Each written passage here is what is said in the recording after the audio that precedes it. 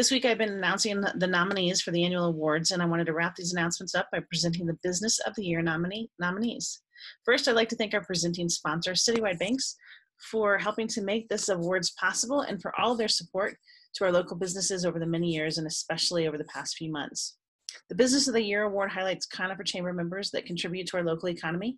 They demonstrate good citizenship throughout the community and are actively supporting charities and other businesses, as well as encouraging its employees to do the same. And it is active in the Conifer Chamber by participating in events, volunteering, sponsoring, and or promoting the chamber. The nominees of the Business of the Year award are Taspins.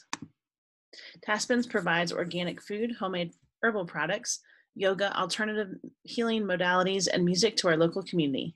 They provide many jobs to people in our community and are supporters of, chamber events and activities and other community organizations. They are bringing the community together in a variety of different ways. Next, next up, we have Edward Jones Davis Linden. Davis and Shelley Turkington have both been very involved in the chamber on many different levels. Both have many have been amazing board members in the past and have volunteered to help our events from the planning stages to day of event coordinations. Recently, they both stepped up to the Mountain Area Task Force to help businesses with funding questions and figure out the next steps. Davis and Shelley are huge supporters of our local businesses and a fantastic team over at Edward Jones. Thank you for all you have done to both of you. Next up is Snowpack Tap Room. Snowpack Tap Room has been a great addition to our community. They support other local businesses, employ local workers, and are active in chamber events and supporting many other local organizations.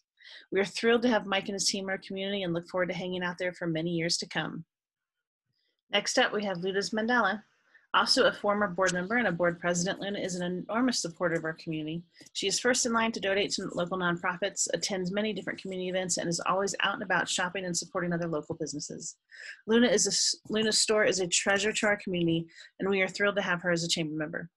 Congratulations to you all. Thank you to Citywide Banks for supporting this event, and to be sure to turn in, tune in tomorrow for the listing of the winners. Congratulations.